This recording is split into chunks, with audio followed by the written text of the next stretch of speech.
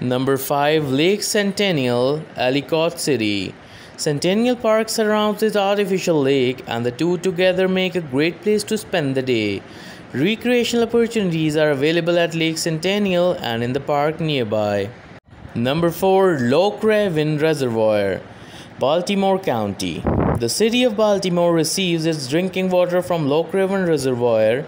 Additionally, it is used for leisure pursuits, particularly by city people on a hot summer day. Number 3 Lake Needwood, Montgomery County. To aid in the prevention of flooding, the 30 hectare lake Needwood was built. It is also a fantastic lake for recreation with boating, rowing, and canoeing available. Although a fishing license is required, fishing is allowed. Number 2 Lake Habeeb, Allegany County.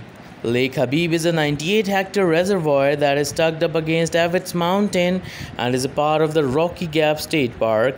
Edward Habeeb, a florist who contributed to the area's development, was honored with a lake named in his honor. Number 1 Deep Creek Lake, Garrett County.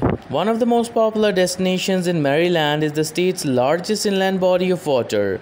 The 1578 hectare lake is not only a fantastic location for outdoor pleasure but also rather spectacular because of the forested mountains in the area.